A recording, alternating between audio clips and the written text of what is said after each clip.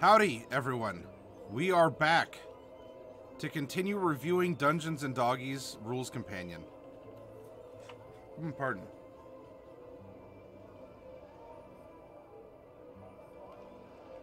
You attempt to roast the trap and and you stutter.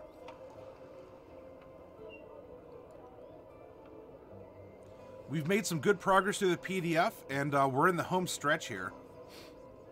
Uh, where we left off was uh, getting into these class uh, these class specific feats for your doggos.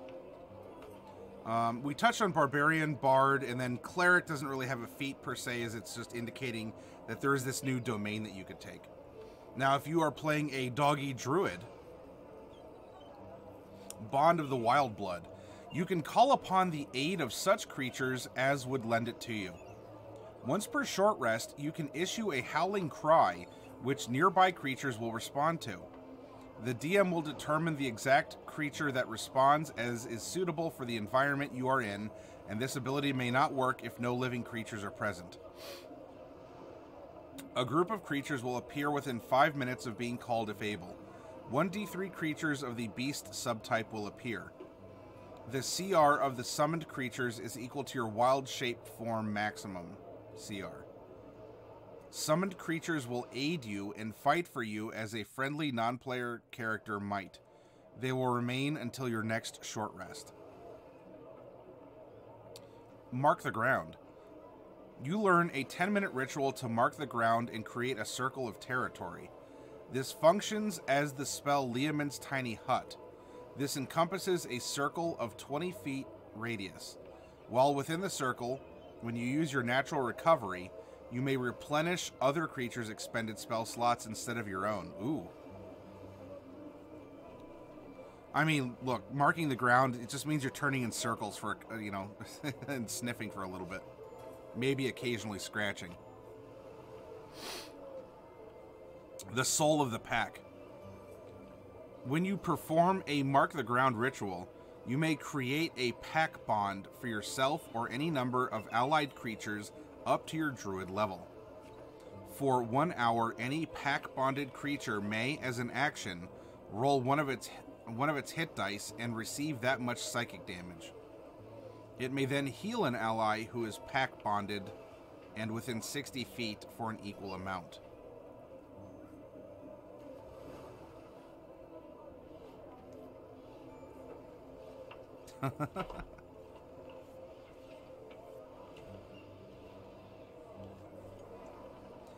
hmm. I get it. Eh.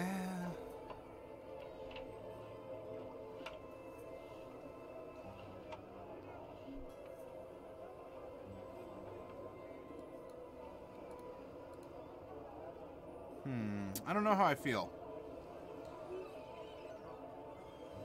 I don't necessarily think it's like super broken. I mean, this is taking an action to roll a hit die. Uh, so that being said, you know, is it really, um, you know, is it is it broken? I don't think so. Are people going to take it or use it? Well, maybe. Kind of gives everyone a cure spell. Um, I mean, a barbarian is definitely going to be an awesome healer. Uh, it should say that the damage cannot be mitigated in some way, just to be sure. Um, you know, in case, because you can have uh, resistance to psychic or things along those lines. Um,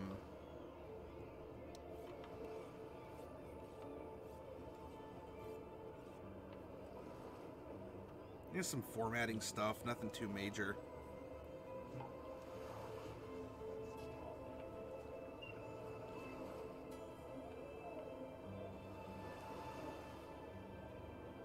It is psychic damage.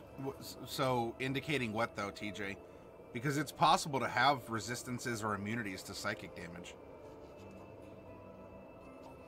And so if, if that's the case,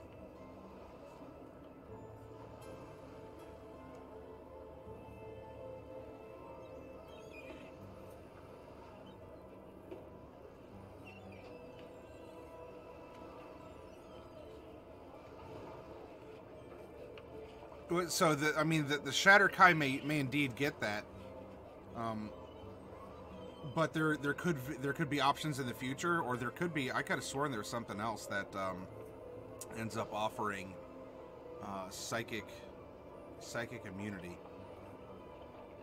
uh, or at least psychic um,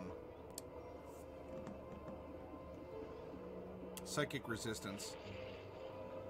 Uh, it was it was one of the tieflings, I think, out of Morgrave Miscellany. Now that's not an official book, uh, not yet anyway. Uh, so that's something to consider as well. TJ would rule that if you get resistance to the psychic, you would also uh, limit the the amount of healing, and that that could very well be the case. Um, if the point is to get someone up out of dying, then one point is one point. You know, it, it, that, if that's what you're trying to do, then because it's not necessarily a super healing ability. It's an option, I suppose.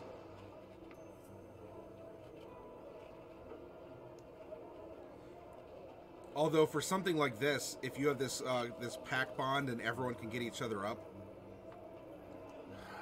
an idea to play with in your own campaigns, especially if you have people who um, who might cheese healing word, is every time someone's brought back from unconsciousness, uh, they gain a level of exhaustion, like maybe after the first. Uh, because they keep getting knocked out, it represents maybe getting concussions or their body is just so fatigued. That sure you have hit points, but you're suffering for that because you're constantly being beaten down, and then you're constantly, you know, getting, you know, magic adrenaline pumped right into your heart. The DM I'm playing with at the moment has some rules about yo-yoing characters from being down. That's basically the rules, yeah. Um, because look, on ever since fourth edition, it is. I'm sure this is controversial in some way. Um, it is easier to pick someone up who's unconscious than it is to just heal them. Right? Because you don't have to dig out of negatives. Uh, you just cast and they can get up. You know, melee fighter, whatever. Let them go down. Um, I'll just healing word them back up, and then I'll healing word them again the next time they go down, kind of a thing. Hey, Victor, welcome. We're playing to Annihilation, so death has to have meaning. Yes, that's a great consideration, TJ. if someone's on that verge of death, if they're bleeding out, uh, then for certain.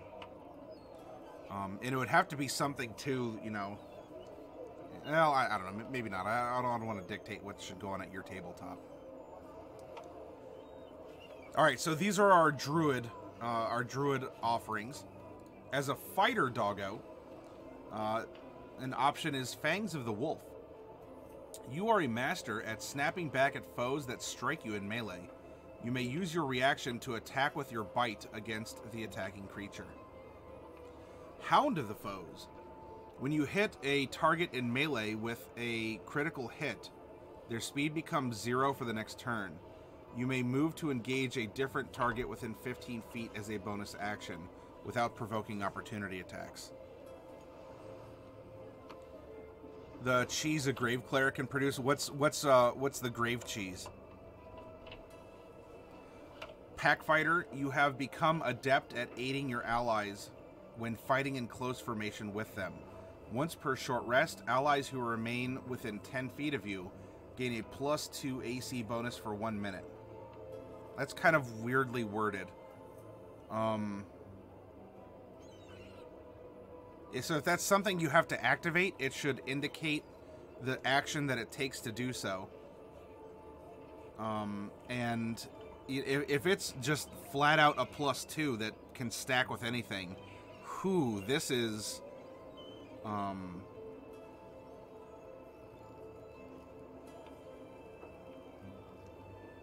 that could be really big. Especially if you have a paladin friend who has an aura that gives you uh, ridiculous saves to your or uh, bonuses to your saves. Uh, suddenly, you just have this like tight phalanx formation. Uh, and you know, is that bad? Eh, not necessarily. It could certainly uh, it can certainly get very powerful very quickly. Um, but I don't know. Pack fighter, pack fighter uh, I mean, it's worded as what it's trying to encourage, right? Everyone sticks together, moves as a group. Um, I don't know if I like it as it's worded though. Grave clerics, once they once they hit a point, can basically cause their party to never die. Was it just by like tossing out a bunch of little like nominal heals uh, that kind of keep people functional, but uh, you know they, they keep getting juggled? As a doggy monk, guiding paw strike. When you hit with a melee attack using a monk weapon or unarmed strike, you may spend one ki point to give one creature within 30 feet of you advantage on its next attack against the target or resistance to the next source of damage caused by the target. The pack is many, the pack is one. As an action, you can distribute healing equal to three times your monk level among any number of creatures within 30 feet. You must finish a long rest before you use this ability again.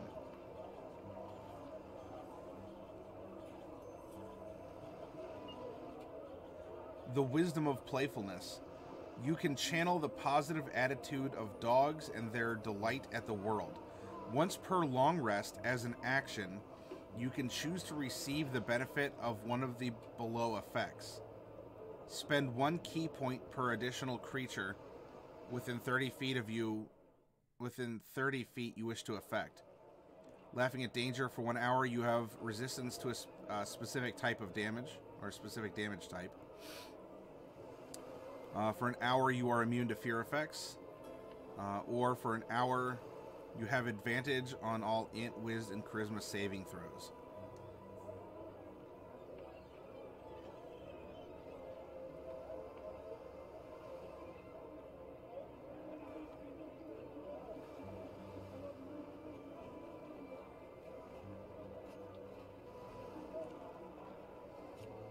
I don't know. Again, a little bit of formatting and wording needs to be adjusted to bring it in line with, you know, kind of the, the common presentation. For sure, this supplement wants to uh, wants to strike home that they want all of your doggy characters to be support characters, or at least have the option to be support characters.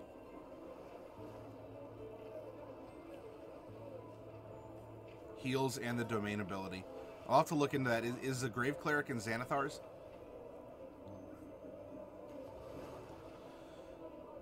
The Paladin. A friend indeed. You may use your sacred weapon, Channel Divinity, on a friendly creature's weapon within 15 feet of you. As a dog, you may ignore the restriction on holding a weapon. Ooh.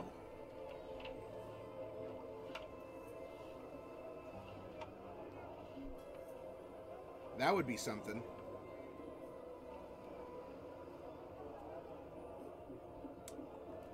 Not quite sure if it's broken. Um, but I don't know. Being able to... Um, but using that Chandiv in that way, hmm. It takes some experimentation. Devoted to the pack. When you use your Channel Divinity feature, you, in addition to your chosen effect, one friendly creature you nominate within 30 feet is encouraged for one minute, becoming immune to fear and resistant to necrotic damage. Loyalty to the last. If a friendly creature within 15 feet of you is reduced to zero hit points, you may use your reaction to use your Lay on Hands ability. You must then take a long rest to regain this ability. Using lay on hands within 15 feet as a as a reaction seems pretty powerful to me. Hmm. I don't know. If any of you have thoughts on this too, if you think something is busted or you're like, oh, I absolutely, I, am digging it. Uh, I think, you know, I would definitely uh, play a paladin that has all of these and, and it is not broken because here's reasons. So is this supplement meant for a dog-only campaign or to add a doggo? Uh, either. All doggos, partial doggos, only one doggo. Ranger, guide the pack. Once per long rest when you reduce a target to zero hit points, you grant up to three creatures within 30 feet of you advantage on their next attack. Lead the hunt. When you cast Hunter's Mark on a target, choose a willing creature within 30 feet. That creature gains a 1d4 damage bonus to attacks against the same target for the duration of the effect. Um. So I guess if the target dies and the Hunter's Mark moves, it wouldn't move with it? Apex Predator requires lead the hunt. When you cast Hunter's Mark on a target, choose up to three willing creatures within 30 feet. They each gain 1d4 damage bonus to. They each gain a 1d4 damage bonus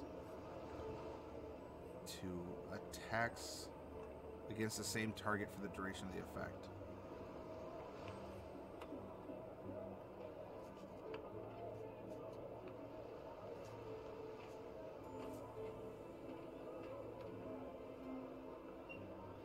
Okay, so it's the same thing, but you can just target up to three others.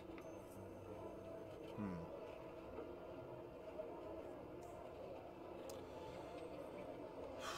Well, I mean, if, if you build... I guess there's not really a reason to not take Hunter's Mark, I suppose. Although this does presume that Rangers are going to do so.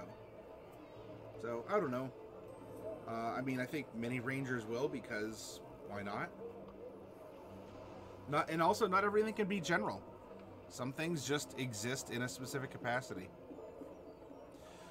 The Rogue Ankle Cutter. When making a sneak attack, if any of the sneak attack dice roll their maximum face value, your target's speed is reduced to zero until they pass a Constitution saving throw at the end of one of their turns. The DC for this is 8 plus proficiency plus dex. Ooh. So you, ooh, you, you can keep people pinned pretty easily since I mean Dex is is your jam, and you may already be getting advantage to hit, and then if you're rolling all of the sneak attack dice, um, you know, getting a six on it, especially if you have uh, some weapon reroll feats, some other weapon reroll feats, uh, that could be very very brutal.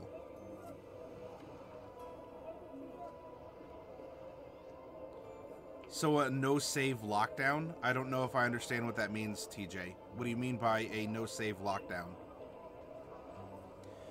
A Shadow Paw Rogue. If uh, blah, blah, blah, you are a difficult foe to pin down. If you hit in combat with a sneak attack, you may choose to move up to 10 feet as a free action.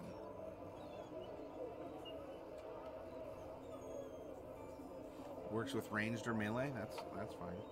Slashing Claws, Silent Paws. When making a sneak attack, if any of the sneak attack dice roll their maximum face value, you may hide as a free action. Hmm. Like right in front of them, though? Or is that more for ranged only?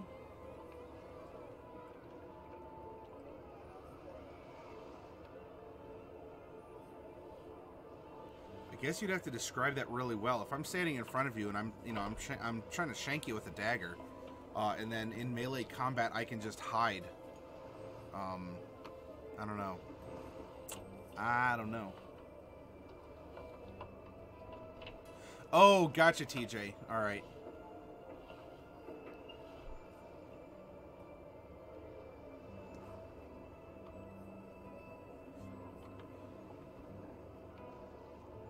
Sorcerer, buried in the veil. Once per long rest, you may bury an object of no more than one cubic foot in size as an action. It passes beyond the material plane. You may retrieve it at any time as an action. You may bury a number of objects in total equal to your charisma modifier. A fun utility. Dimension Digger. You can dig and scramble through the weave of reality. Once per long rest, whenever you expend one or more sorcery points, you may cast the Misty Step spell. Oof.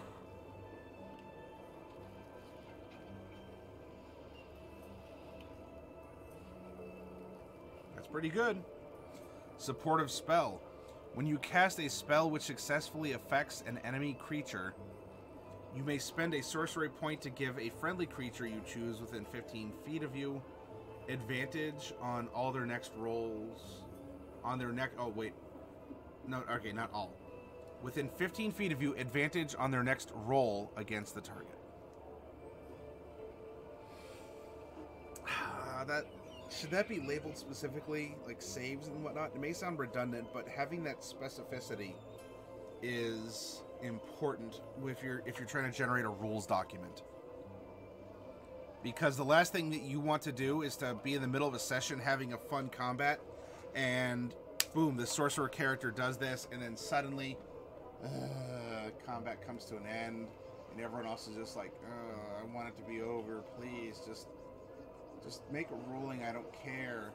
And you know, because the DM is like, um, um, um, um I, I don't know. I, I want to please the player, but also at the same time, it seems busted, and we didn't talk about this. Wizard and Warlock. Which, uh, um, actually, it should be the other way around if it's alphabetical. uh, Wizard, our, um, Arc, uh, Arcanine or Arcanine Scrounger. You can temporarily learn others' spells as you scrounge for knowledge. Choose a willing creature and spend 15 minutes with them discussing the intricacies of their spell casting. You may learn a spell that the creature knows as if you have it prepared, but it does not count against the number of spells you can prepare. Uh, you can cast this spell until the end of your next long rest. Uh, dogged casting. You are determined mind when it comes to spell casting. You have advantage on any concentration checks. To retain concentration spells that you are required to make.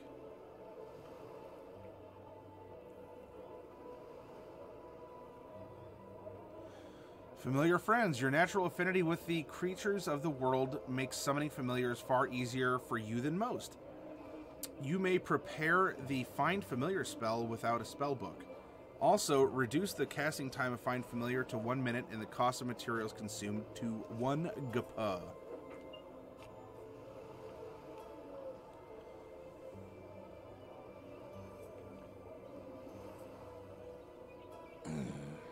Warlock, Dark Bark.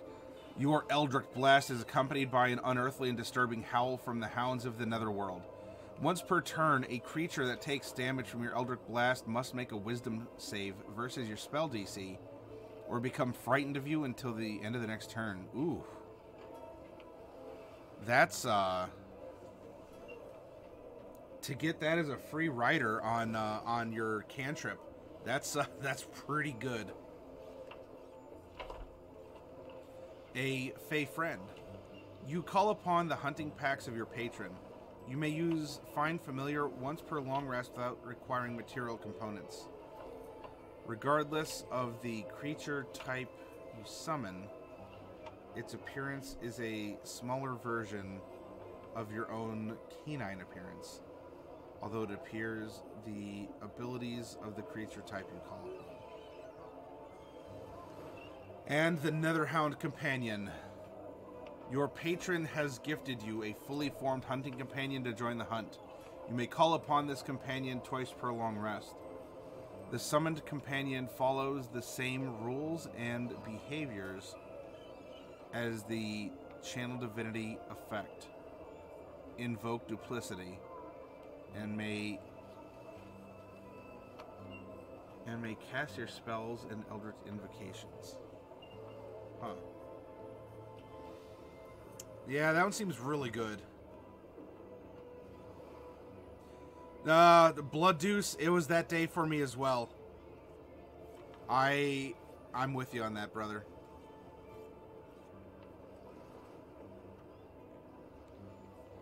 Uh, Awakened Animal as a as a background. So this is something that all of our all of our doggies can take if we didn't want them to be raised as an urchin or trained as a soldier or something along those lines. Let's explore the awakened animal background after I finish this delicious uh, chip and salsa.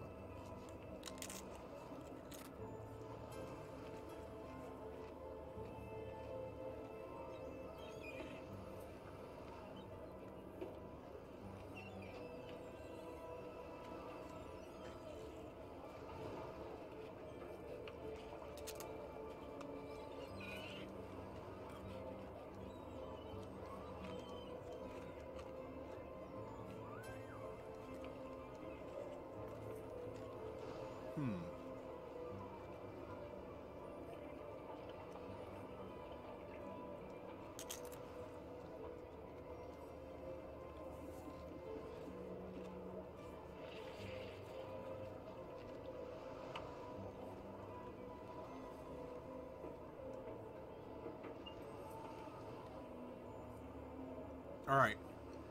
Per this background, your skill proficiencies are insight and persuasion. No tool proficiencies, and you get a one language of your choice. Equipment. An object relating to your awakening, such as the worn scroll you slept under as a puppy, or a locket with the image of the family you were born to, a well chewed toy, and a collar pouch containing 15 gapuz. You can use the vast and often disregarded population of dogs that is found throughout society to your advantage.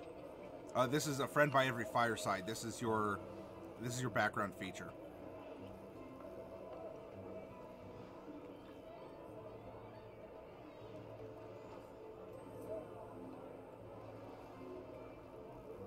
Hmm. You're always aware of the local canine population and can seek information about the locality and goings on from the many dogs you encounter. By sniffing popular places and scents, you can instantly learn limited information about a place, such as the quality of water and food supplies, population levels, general mood, and atmosphere. Furthermore, you can usually find a friendly local dog who can help you seek safe and welcoming accommodation, food, and shelter.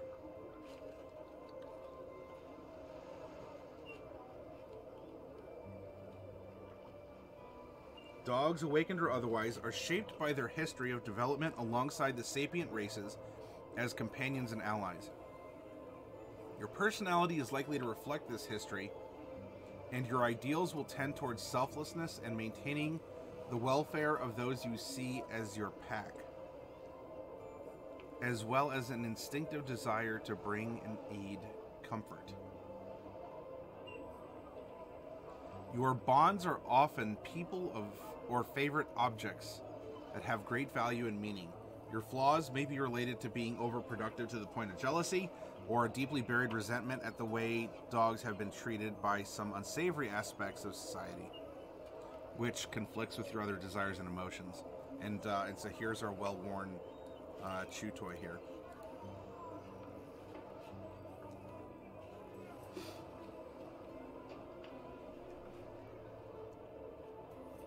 Personality trait. When in a new place, I have a need to establish my ownership. this everyone rolls in. The, the, dog party just rolls into town, and they all look for the first telephone pole to mark. uh,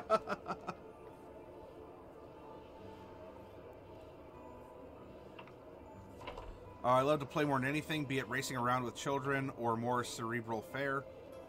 I'm not going to go over each of these, but just you know, picking some randos here uh, an ideal change. My enhanced understanding of Zaworodo shows me many injustices. I have a deep desire to enact change within the world order one day at a time. Aid. My skills are a gift to the world, and I must assist in endeavors where I can be of use. Decent ideals. Bond. When the one who made me this way set off on their long quest, they were ignorant of what they had given me. I will find them, and together we will achieve greatness. The magical writings of my lost master gave me this gift. Now I bear them to the place they must be laid. Ooh. Very good bond. And what are some flaws? Uh, I regard myself as, as a superior version of my kind and I am prone to forcing non sentient dogs into submission.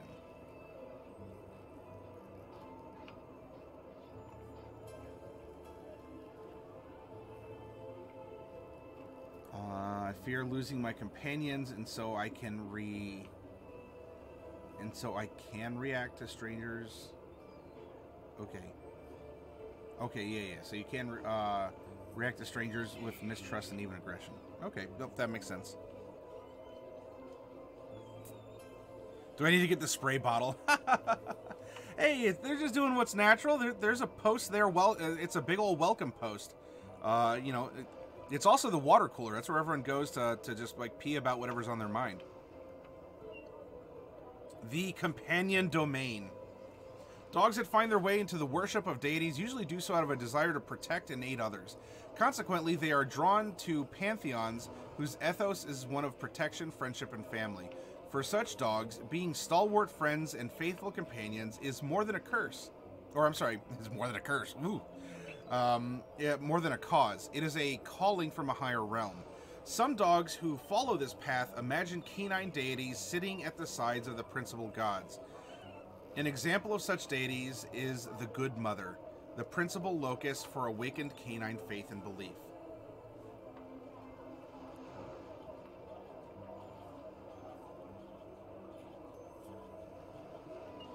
Let's see. Domain spells Guiding Bolt and Healing Word. Uh, aid and Calm Emotions. Beacon of Hope, Mass Healing Word. Death Ward, Locate Creature. Uh, Geas and Greater Restoration. That seems to make sense to me, uh, given for the, you know, the the flair that they're going for. Here, let's make sure we aren't being too redundant with any of this. Check this real quick.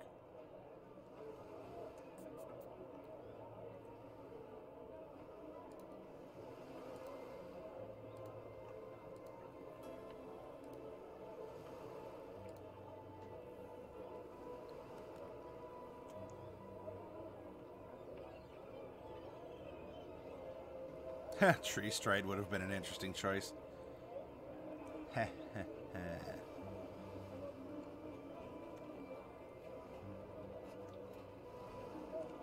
yeah, so it's really only kind of close to...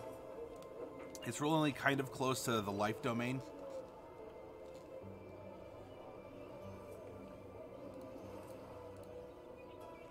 When you choose this domain at level 1, you can use the Best Friends ability once per short rest. Channel Divinity invoked companionship. Starting at second level, you can cause your Channel Divinity to reaffirm your allies' bonds. As an action, you present your holy symbol and evoke a positive energy which can heal and heal and stir your allies. Any number of creatures within 30 feet, or choose any. Each creature affected may gain temporary hit points equal to your cleric level. Not terrible, I suppose. Definitely not good at the lower levels. Uh, and then you get another Chandiv Lifted Spirits. At 6th level, you can inspire an ally to face down impossible odds and press on in the face of adversity.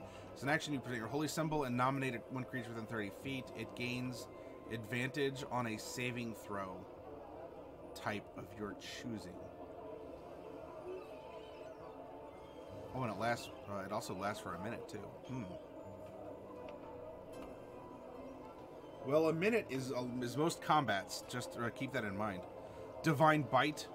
Uh, you get the ability to infuse your bite attacks with the combined strength of your allies. Um, makes sense. I think that's on par with the other um, like melee clerics.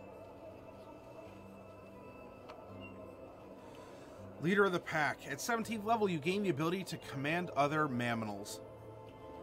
Uh, while creatures are charmed by your best friend's ability, you can take a bonus action on your turn to command what each of those creatures will do on their next turn.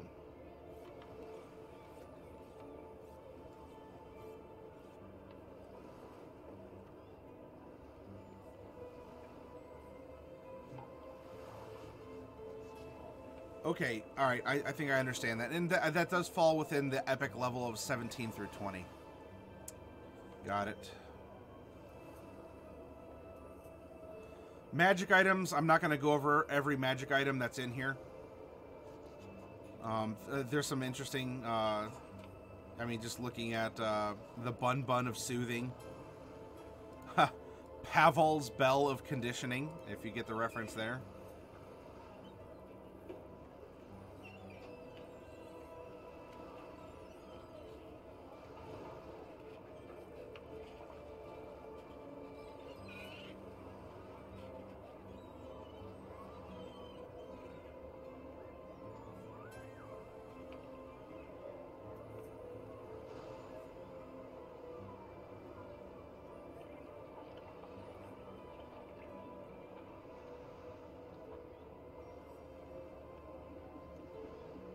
A festooned flea collar, Groof's, Groof's Gobble Charm necklace.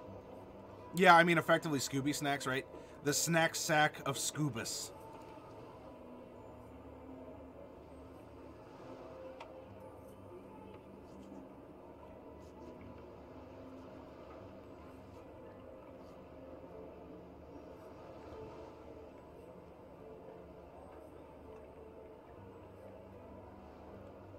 Touch Harness. Ah, yes, here we go. The Cone of Shame Cursed Item. Rare requires attunement.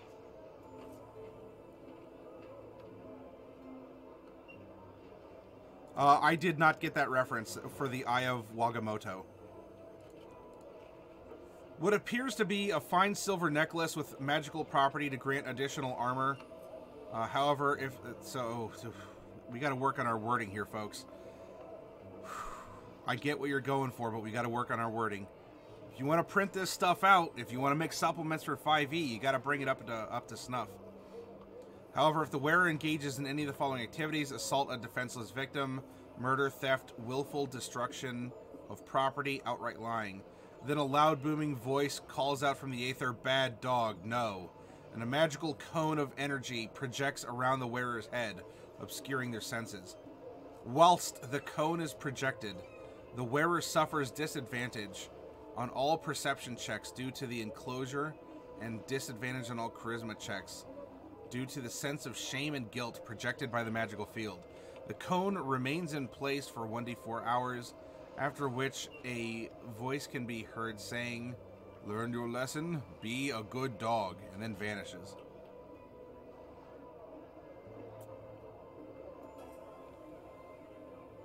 Oh, all right, Evelyn. I gotcha. All right. I see. I, I was looking at uh, I was looking at it in a couple different ways. Like you wag a tail, or there's like there's that there's that really good like wagyu beef, uh, that's like super high quality, expensive stuff. And I'm like, well, dogs dogs definitely eat high quality beef.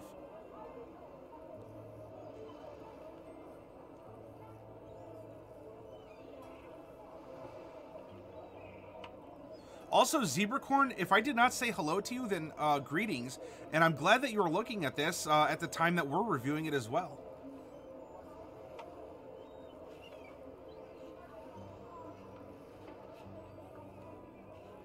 Oh, that had a. Uh, I, I wasn't reading the descriptions per se. I was just kind of seeing if I could extract any any puns. Uh, Oh, you know what? Uh, one of the one of the doggos up above, the Dachshund Sorcerer, uh, is wearing this. Uh, see the ethereal plane to manipulate time.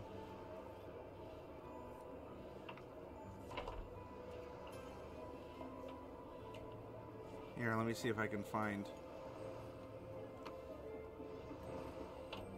There we go.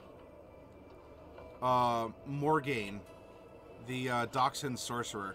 There's a better picture of uh, Morgaine a little bit earlier as well. So if you do like the concept of a Doctor Strange style, there you go.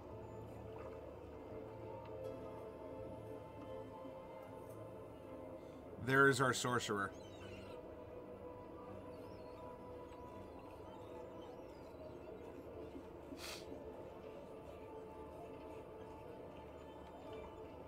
I can't believe I missed it, says Evelyn. That is straight up Dog Tor Strange. I see what you did there, TJ. Hashtag Doggo Strange.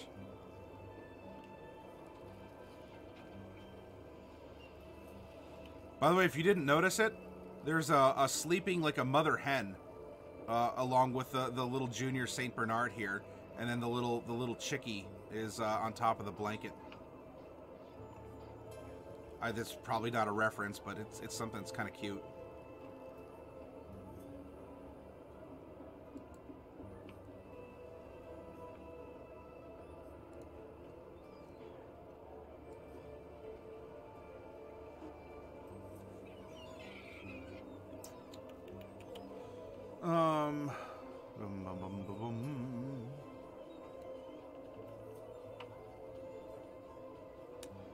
Hermel's halatoid hoop.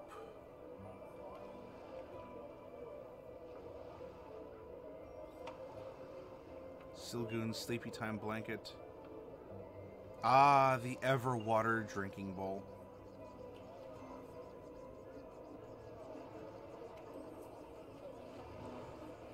Something like this being rare, I agree with it because uh, food and water production magic, it's to me it's not on par with you know like extra dimensions or um, or time travel kind of a thing.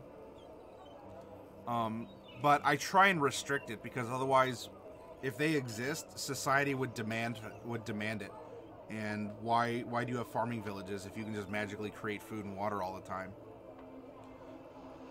Fenrin, welcome, welcome. I really want to make a doggo druid circle of the shepherd. Well, we might end up randomly generating one uh, tomorrow.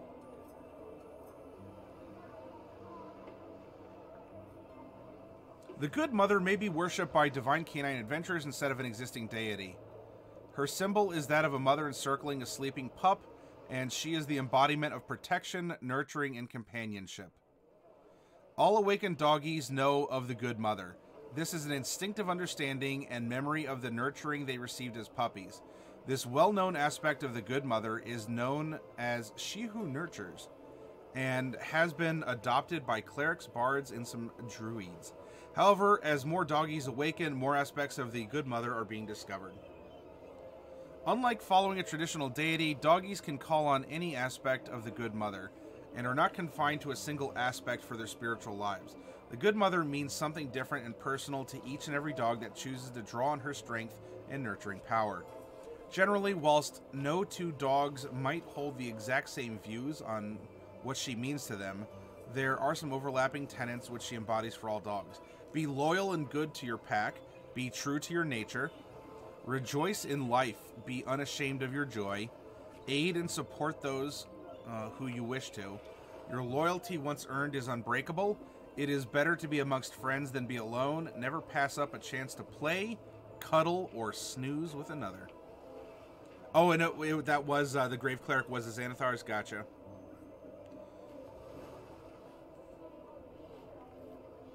Some doggies have come across shrines to the Good Mother. These cannot be seen but must be sniffed out. It is said that if a doggie discovers a shrine to the Good Mother, she may enter it by bowing or offering a paw. Once inside this mysterious sanctuary, usually constructed of natural material and with the lingering scent of a recent litter, the doggie feels refreshed and replenished. If some time is spent in the shrine, concentrating on the aspect that the doggie feels closest to, sometimes a boon is conferred. Doggies have reported their coats feeling shinier and softer, their claws sharpening, and their bite strengthening. Some some parties have even felt the benefit of their doggy companion's boon for a short while when in proximity. If a DM wishes to include shrines to the mother in their games, allow dogs to sense them with a nature or arcana skill check of a DC 12. A two minute ritual opens the shrine, which is a small pocket dimension. I'm, I'm just joking. I, I, I can entertain this. just big enough for a, uh, for a single dog to curl up in. Taking a short rest within the shrine confers the dog an inspiration die.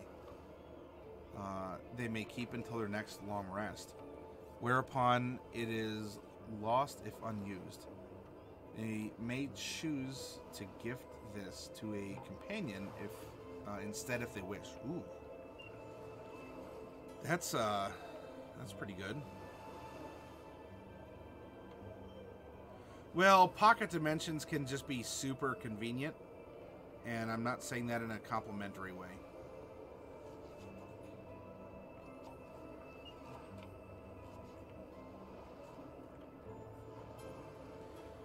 Um, now, for the doggo characters, I'm not going to go over the the minutia of them. These are sample characters that uh, that have their own story and they draw on different abilities. Um, so I mean, we'll take a look. I mean, so we have Cassandra, uh, who's a husky paladin. Eh, I don't wanna, Evelyn. I don't want everything to be reduced to irrelevancy because nothing you do actually ever matters. Eh. Wine, wine, wine. Uh, Cerise, the Saint Bernard cleric.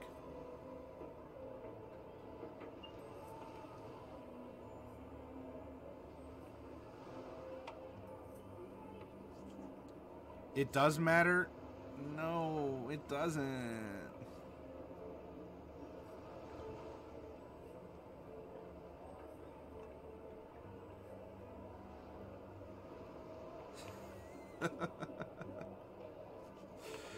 Cornelius. Oh, you know what I forgot to do?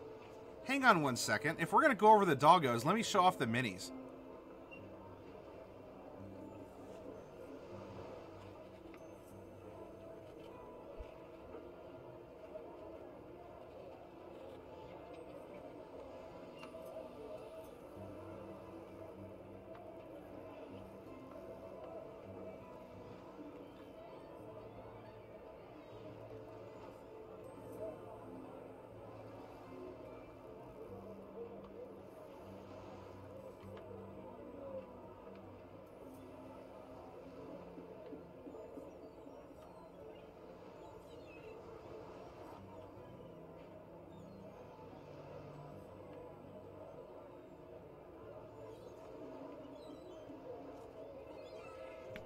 Item acquired. Woo. Now, I actually have a couple of these at the store because they, uh, I, I, I got several of them in. Um, and so here, it doesn't make for, uh, for good TV because they are, uh, they were molded in brown plastic.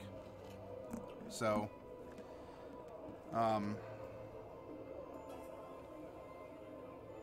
Yeah, I tried. I tried.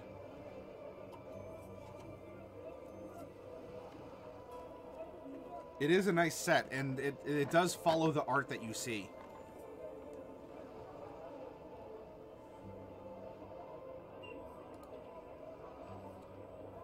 Uh, Evelyn says, but in this case, I'm just teasing Matty because I find his aversion to other planes astounding, confusing, and a little weird. Yeah, well, I like keeping it close to home, and when suddenly, uh, you know, that's not the case. It's just I don't know. I I feel it's distracting and um, convoluted, maybe. I don't know. I have my own aversion to it, uh, but we're all weird in our own ways, I guess. We all have our thing. Uh, Blood Deuce, I feel like people that stare into the face of the multiverse and find themselves robbed of meaning or purpose are weak-willed. I'm not sure how I can clarify that this isn't meant to be an insult, but it's bewildering to me that simply realizing there are other timelines like your own can somehow negate the fact that you've spent your entire life in your own timeline. It is your home, your shelter, and your eventual legacy. It doesn't lose meaning simply because there are others like it. no, don't worry about it. Hey, uh, Blood Deuce, if you're writing with passion, that's fine. Um, no, just in storytelling, it uh, a lot of this just tends to render things just, eh. Um, you know, it. Uh, so uh, look at it this way: if it's not a matter of convolution, it's a it's a matter of of passion, right? It's a matter of, especially when it gets to time travel. I'm not necessarily. I, am not as against other planes existing, as I am against uh, any manipulation of time uh, or time travel.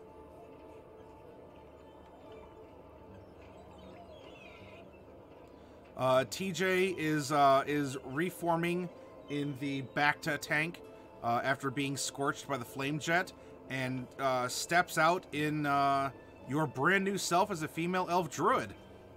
TJ, you got what you wanted. Congrats. Time anything is terrible. I agree unless it's unless it's like ridiculous and campy like i love back to the future. Um you know and i i am very okay with doctor who. Because even in doctor who uh time travel doesn't matter. Uh none of none of that nothing matters in doctor who. Um but they realize that. And because they're not trying to be you know pretentious about it or they're not trying to tell some intricately woven story no. Doctor who knows what it is and it accepts it and pursues it with gusto, and I'm fine with that. Um, you know, Back to the Future is a fun, you know, kind of uh, kind of campy '80s, you know, uh, sci-fi uh, you know, little like time capsule, uh, kind of all, almost in an ironic sense. Um, so I enjoy that, but I also don't take it seriously. Um, I can't really take serious time travel seriously uh, because it just gets so convoluted, and I stop caring about the story. And if we're talking about other planes, it doesn't happen as much, but the ability for other planes to simply be an extremely lazy storytelling device, you know, alternate realities, alternate timelines, other planes, um, it has it has been um, a very bitter experience for me. Um, and oh, Vehement, thank you. And so I avoid that kind of stuff because I don't want to fall into those traps of um, that that they can offer. And suddenly, you know, you you may care about your home, but then you really want to care about these other places more. And you forget you forget who you were, you forget, you know, what you're fighting for. I know these are generalizations and every character and every story is different. Um, but I just find that the allure is to get into convoluted and or lazy storytelling if you have um, you know dimensions al- alternate whatevers. Um, and I just I, I try to personally avoid it. Um,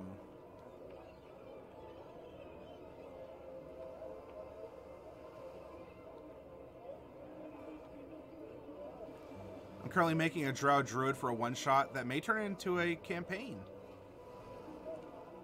Well, I hope you'll get the, the opportunity to play. Uh, would you like to describe your Drow character here, TJ? And uh, and uh, maybe Derek will want to uh, to slap your hand and say no, bad. I'm just joking.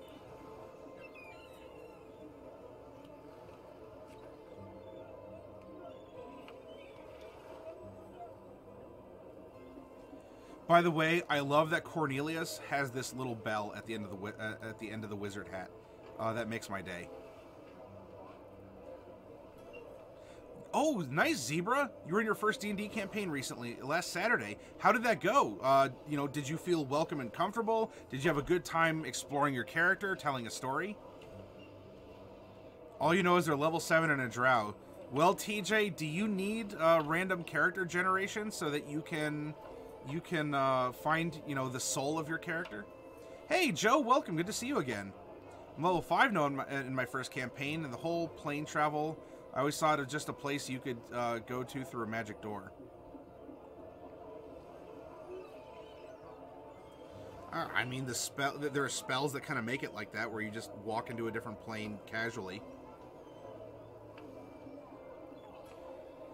Ah, Flint, the cattle dog ranger.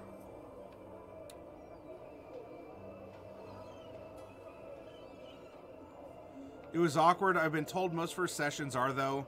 Had a lot of fun writing my character's backstory. Yeah, it's, um, your first time will always be a little awkward, Zebra.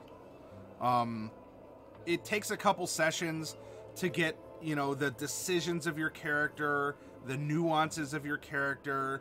If you are, if you're trying to decide on an accent or some other expression of the character, it it'll take uh, I mean, for anime, they say give it three episodes before you uh, decide to quit a series. Uh, in D and D, I would give it.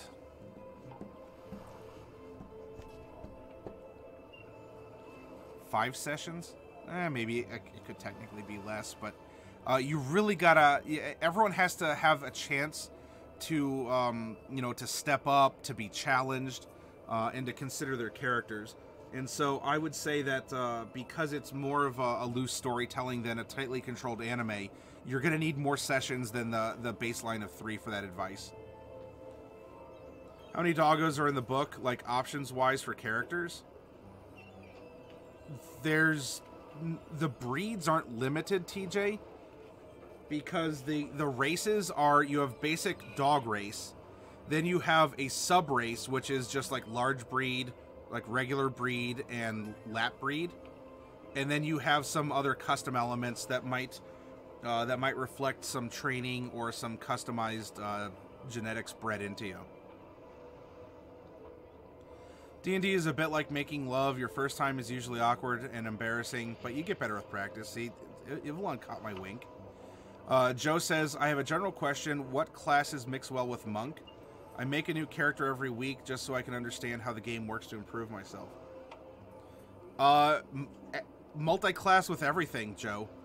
Uh, there's, unless you want to try and, and go for some like powerful build of, you know, I want the speediest character ever, and you are, you know, you're a, a monk barbarian.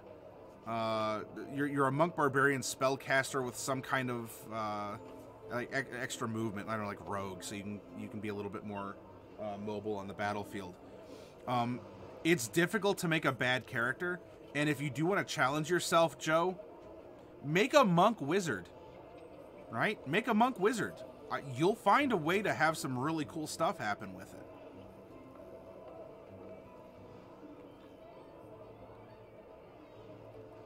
Can the doggos talk to their party, or are they regular doggos? They are four-legged doggos. They are not. Uh, they're not anthropomorphized. Um, so they can communicate to their party. They, they can speak common. Um, they don't have thumbs. Frolicking Llama, howdy, welcome.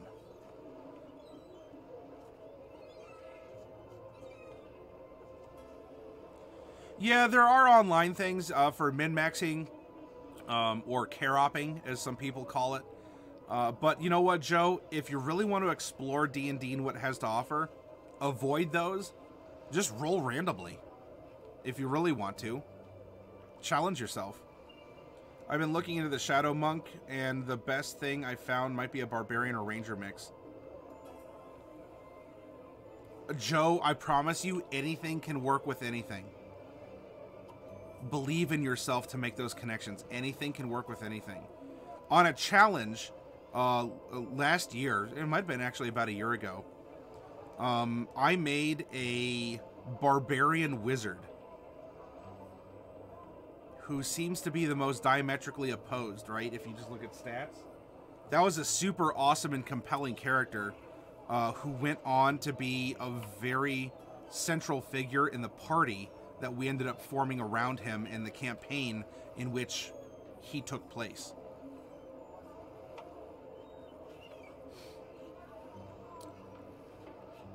Freya, the German Shepherd Druid. Oh, she's so sleepy. I wouldn't pet her though.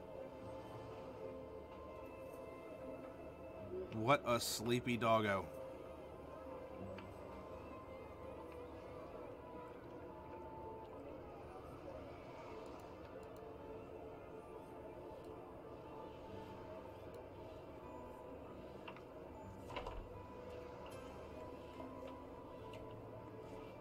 Hartley, the French bulldog fighter.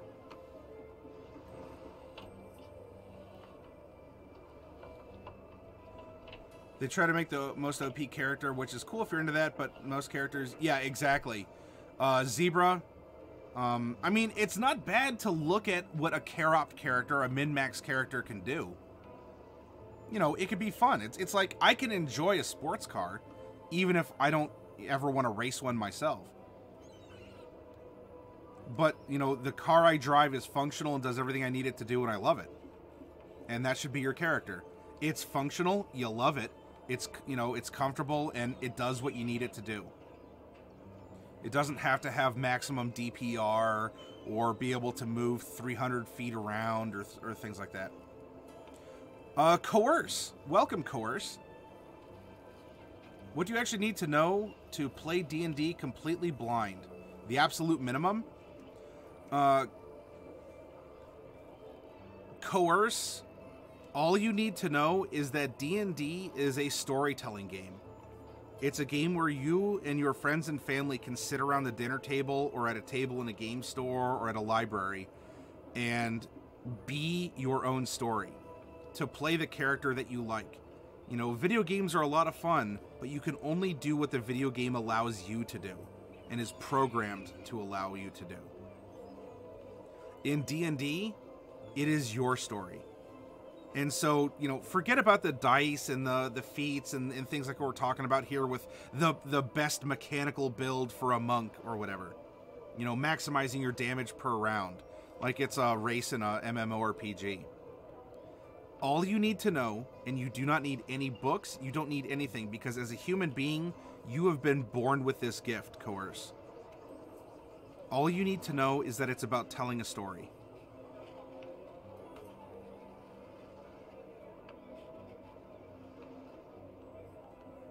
If you want to know the mechanics, um, uh, also, of course, I, I, try and keep the, the channel PG-13 if you don't mind. Um, yeah, I mean, all you need is a game. If you really just want to invest in one thing that that's going to get you 90% of D&D, it's this right here. It's the player's handbook. You know, buy it new for 50, buy it used, uh, support your local game store, um, whatever works for you. If you get the, the player's handbook, this is your portal to the mechanics of unlimited adventure.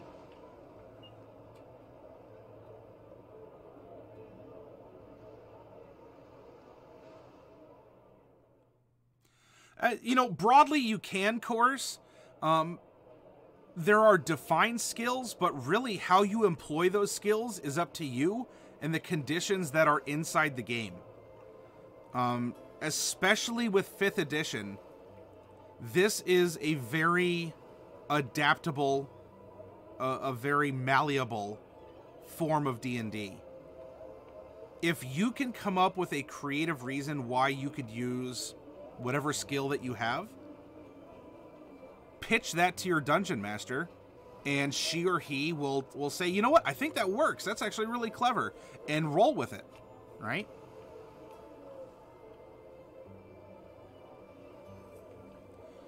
If you if yeah, if the if the dungeon master has a story that allows you to do that coerce, then do it. Uh, if that's the way that the story goes and people are in, you know, everyone at the table's enjoying it, yeah, have fun. Do do crazy. You could do time travel and plane hopping, um, extra dimensional stuff.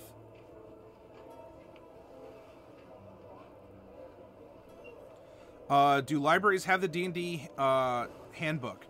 Uh, well, I can tell you my local library does because I donated the core rule books to it. Now, I mean, that doesn't mean it doesn't get shipped out to other libraries if people are looking for it. Uh, but I made sure that my local library was stocked with the uh, the core books so people could reference them. Um, because I I donate. I'm I'm uh, I'm not a super wealthy philanthropist, but I do donate uh, when I can.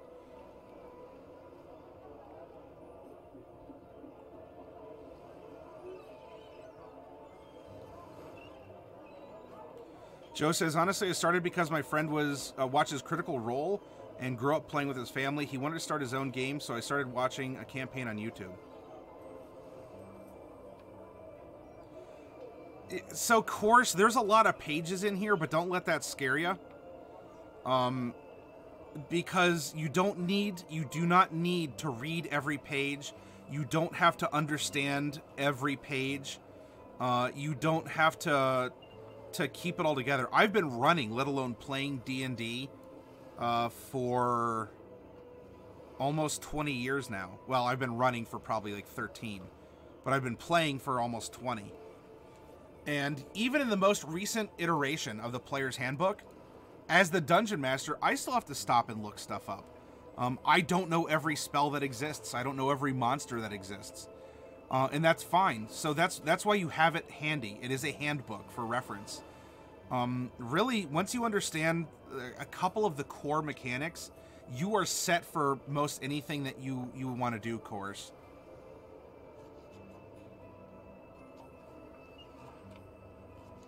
Yeah, so Ivlon, uh, I, I can back that up. Uh, if you want to learn how to swim, jump in the water.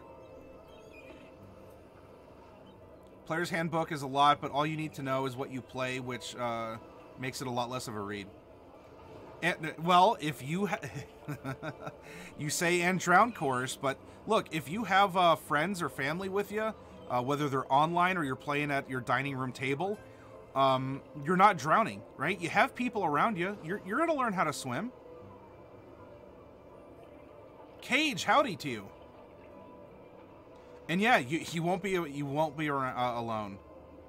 You have the lifeguard and your swim teachers. That, yep, exactly, Evelyn. I'm, I'm liking where the metaphor is going. Uh, that would be... Uh, I think that'd be very, uh, very difficult to do, coerce. Uh, because in the case that, you know, you are drowning uh, and you are irreparable, um, you would probably be politely asked to step away from the table and not bring people down with you. but I, I don't want to say that to sound scary, like, you know, there's a requirement that if someone doesn't know every rule that they have to leave. Now, unfortunately, there are... Look, it's life. You get people like that in life. You know, in all matter of stuff when it comes to a fandom. You know, you get like super serious, like people who are into cars and motorcycles, and if you can't speak the lingo, then you know, you know, GTFO. Uh, or you you go onto a forum where you just want to ask questions about, you know, Pokemon, and someone just absolutely browbeats you into a pulp because how dare you not like the Pokemon that they do, or think that it's, you know, you know, or think that there's a better typing of, of it. The group I'm playing with only has the DM played before, and there are five new players, so we struggled it out together. Joe, I'm uh, thank you very much for saying that because, especially for new players like Coerce, I think that's it's good to not just hear but to understand. Especially with fifth edition, there are so many new players now, and so you won't be alone. Yep, uh, Ivlon's backing that up. Uh, Wolfie says, I find letting the players make their sheet and giving them ways to look things up and ask gets them to understand themselves. Yeah, uh, Wolfie, that's a good philosophy. Uh, for the public game I run at the store on Thursdays, um, I have a new player who's been having some troubles. And so, what I've asked him to do every time he sits down, I want you to put all your dice in a row from your D4 to your D20 with the maximum side face up. And then what I want you to do every time you take an action, I want you to narrate what you're doing. I mean, if you want to add pizzazz to it, you may, but I want you to follow along your sheet and say, all right, I'm attacking with my great sword, so I'm rolling a d20 plus 5. Okay, does a 17 hit? Yes. All right, now I'm going to damage with my longsword, which is a d8 plus my strength mod, that's 2. Uh, so that's going to be 7 points of slashing damage. Ah, good. It's noted. And thank you for telling me. And we have this back and forth, and you, you do it enough, and it, it doesn't even have to take years. It could just take a couple sessions of getting into the pattern. Uh, after you've done it a little bit, you get used to it.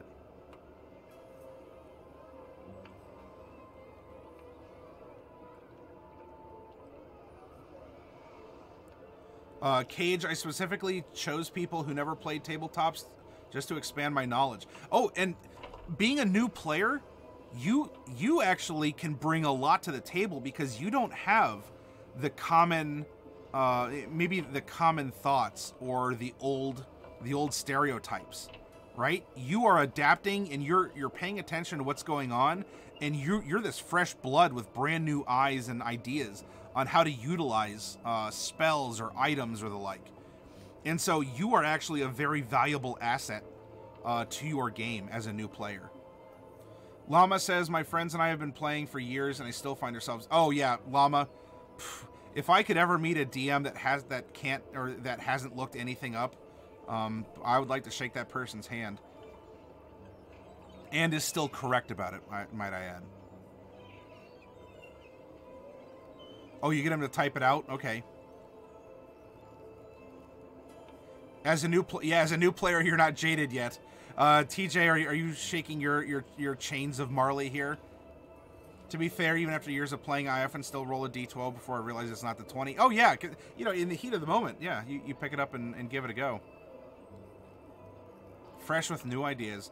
Joe says, honestly, watching other people play on YouTube is what taught me how to play and actually have a story and not just meat grinding. Yes, I mean, having a meat grinder can be a lot of fun. Sometimes on a Saturday night, you just want to build a power character and just like, and become Goblin Slayer in a dungeon. Nothing wrong with that. That's D&D. But then there's those times where you just, you want to be a part of something big, you know, and you want to be in it. Yeah, exactly, TJ.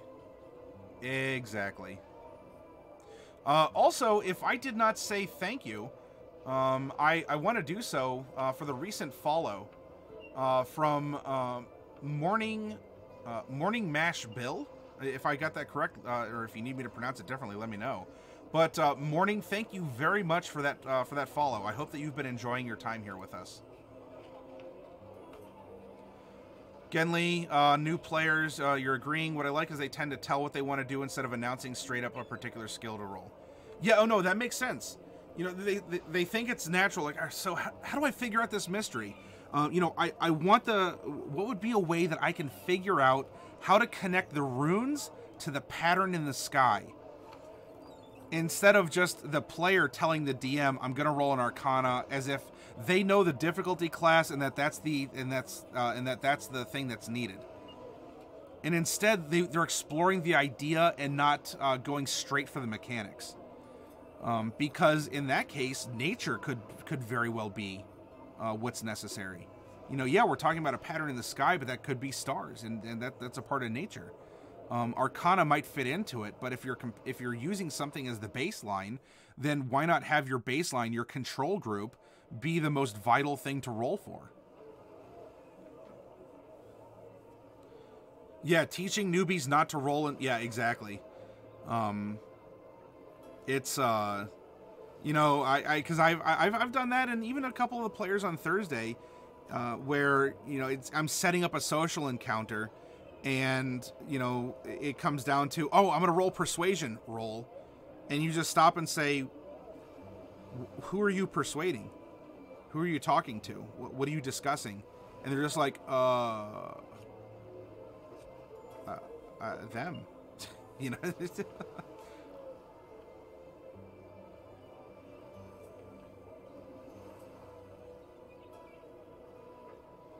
oh, Nick Dirac. Oh, what? Which food did you make? By the way, to all of you who are uh, who are dropping by here, it's great to see that we have a, a great uh, great amount of people in here tonight. That's awesome. Thank you very much. Uh, we're going over this uh, Kickstarter uh, that called Dungeons and Doggies. Now these are the minis that came with it, but you don't need the minis to play. Uh, this was just a, a guilty pleasure. But we're looking over the rules supplement, and and look, even for even for successful Kickstarters, people who've been most likely playing for years, I have found mistakes in here that uh, you know, and, and spelling and you know consistency, sure, but there's things in here that I think are are overpowered and could be disruptive. It happens, right? Uh, it's all a process. It's all a cause and effect, a, a push and pull, a give and take. The way I do it is I have them keep the roll and they have to live with it, but I tell them that if they don't roll, I probably would have just given... Oh, yeah, th that's another technique you can use, too. Monty, the Spaniel Bard. What a happy dog. I, I hope in their own ways that these uh, that these uh, doggos have uh, lifted your spirits. And then we come back around to Morgaine, the Dachshund sorcerer.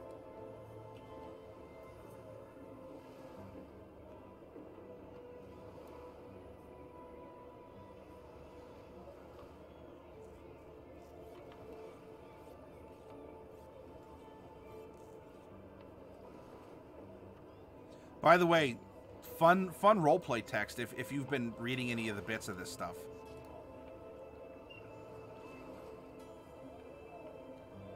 Yeah, so this um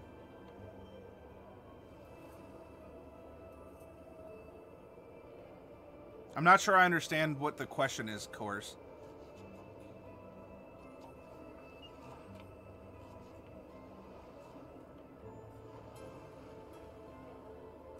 Ah, uh, yes, Nightingale the Pomeranian monk. Which, by the way, if you want to see a nice full picture of Nightingale... Um... Nightingale, where are you?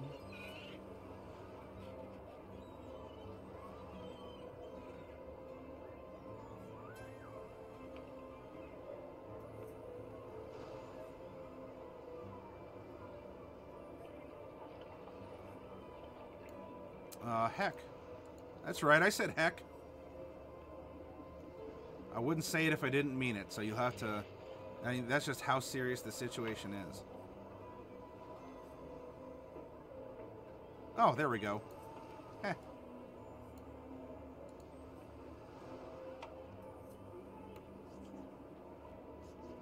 Can they even write? It's your story course.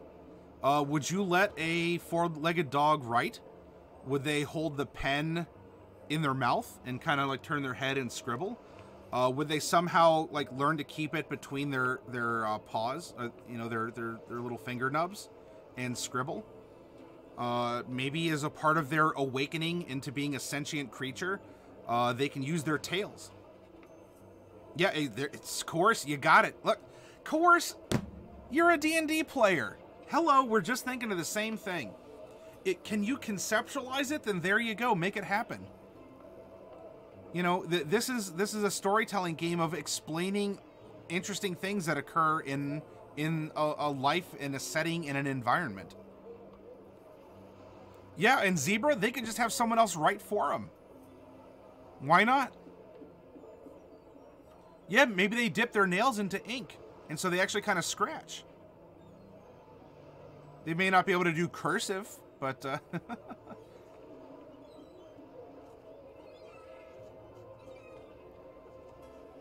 yeah, uh, the DM could give him a magic pen.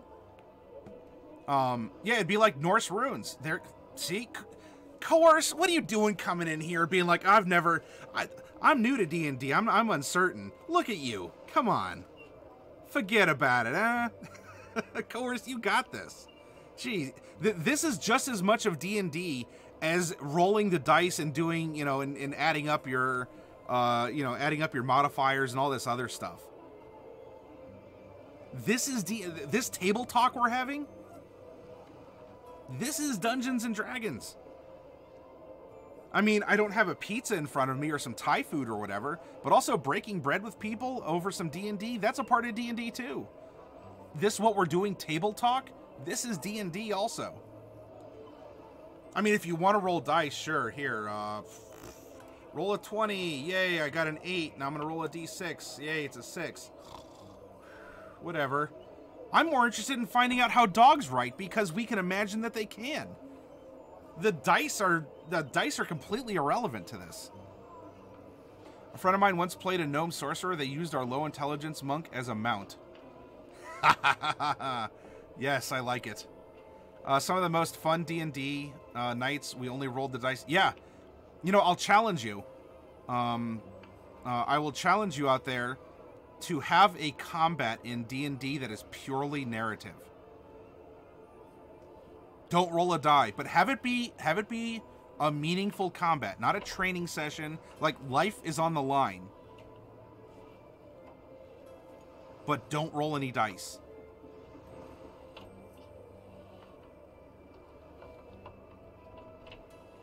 See what happens. Yes, course. That is the case.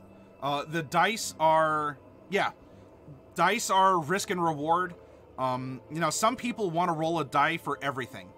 Okay, um, if that's how the game is, then roll a die for everything.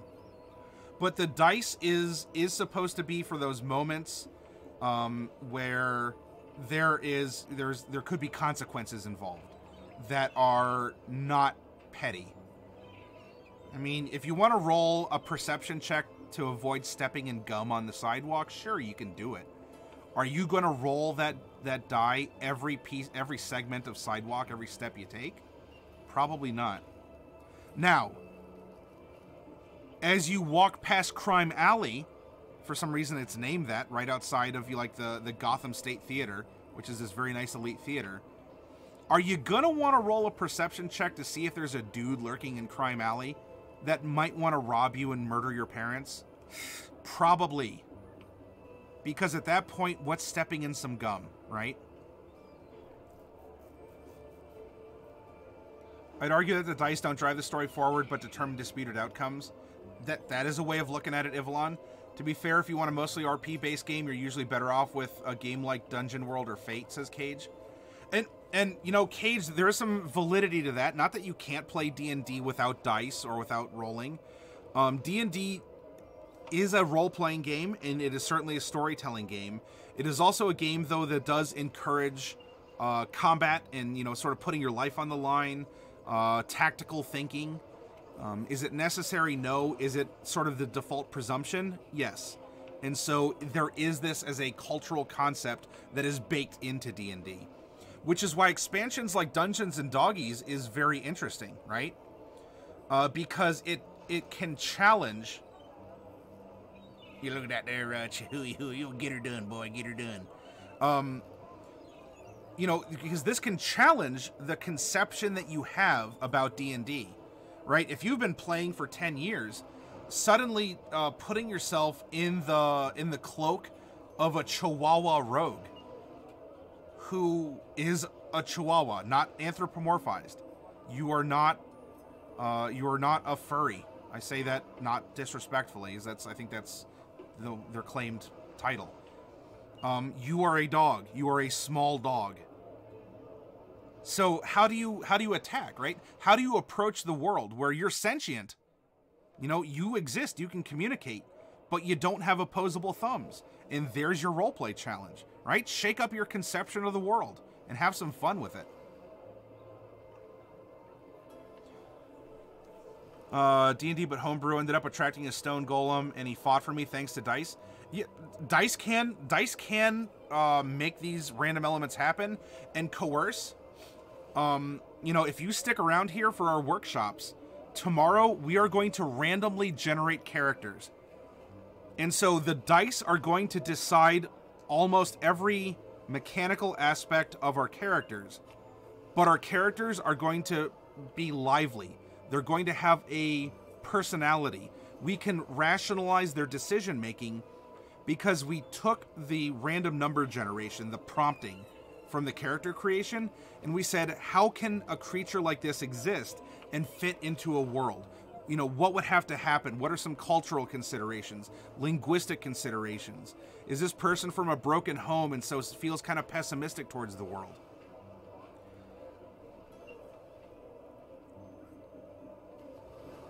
If you look at the core of D&D, most things are based on the combat. Well, I, that's how it started, right? It started as chainmail, uh, which is a, a, tactical combat simulator. Uh, Joe says, my DM has his biases of how some classes should be played or built. That's why I started to build my characters every week to prove him wrong to myself. Joe, hey, continual self-improvement is perfectly fine. And that's why, again, you know, if you want to build a, a monk in something more thematic, you know, if you want to go for a speedster, then make a barbarian monk. Um, but if you really want something fun or a good challenge, Joe, roll it randomly, right? Roll it randomly.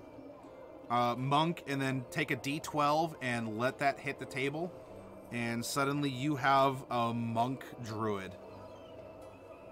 And then you realize I have a monk druid. Hang on.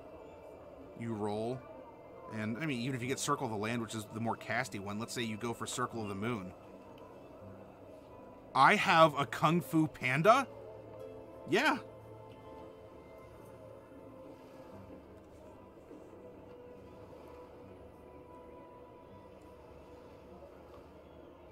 So yeah, things like this can uh, can uh, help shape up, or you know, give you different ideas as a Pomeranian monk. Uh, our beagle, our beagle barbarian. Svetlana. Oh, she's definitely seen some combat there. You can see the scars right there. Hi, Svetlana.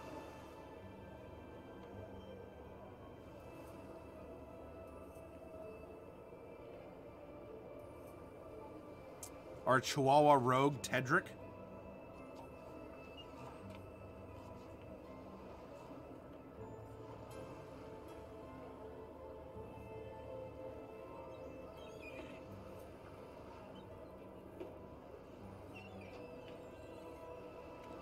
Tobias, our Corgi Warlock.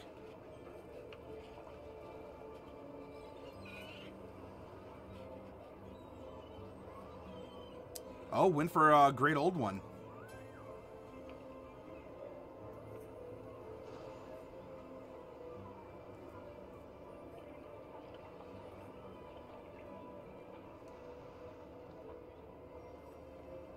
Oh, and looky here. I wonder if I can find a form fillable version.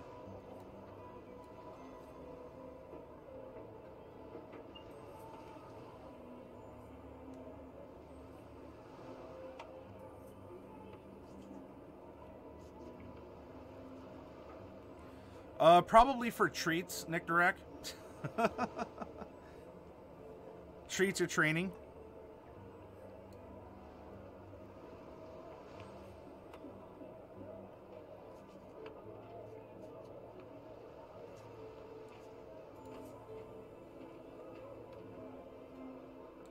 By the way, you'll notice that these are dog-eared.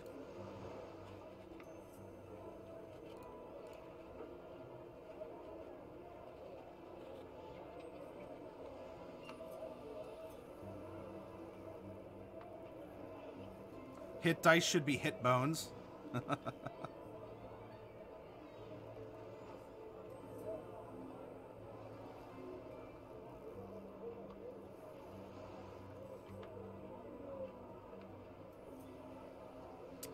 um, they can. With the rules that we've gone over, you can have a dog that's very good at begging and whimpering and trying to get their way. Uh, and then, of course, we need our, our legalese of the uh, OGL, the Open Gaming License. So there we go.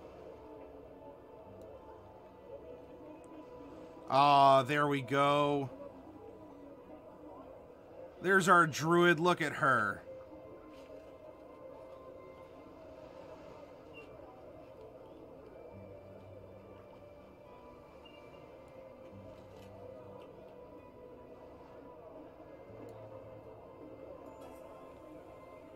Character sheet that's fun and readable.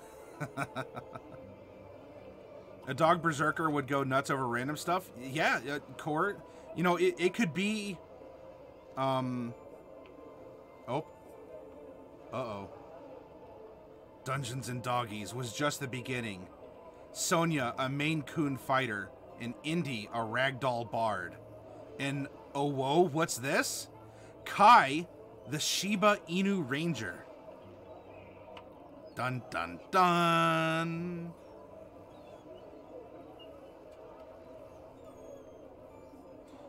Um, yeah, cat's male, uh, chasing a butterfly. I mean, really, if you want. A ranger? What, what do you mean and how?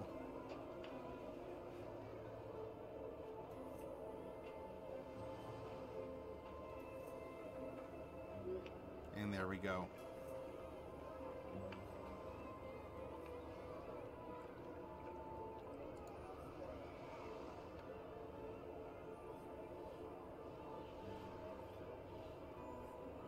How is it ranged? Uh, well, a ranger is is kind of a um, well, a ranger is is like a, a survivalist, right? As someone who can live out in the wilds, uh, can hunt uh, animals or people, can track. Uh, you know, is uh, is very outdoorsy. Uh, I mean, you could think of Strider from uh, Lord of the Rings. Chasing after a squirrel, yeah. You could just have a berserker uh, subclass barbarian uh, just absolutely go nuts for a squirrel. And yeah, uh, rangers aren't always just ranged users. Um, you can have rangers that are excellent melee fighters.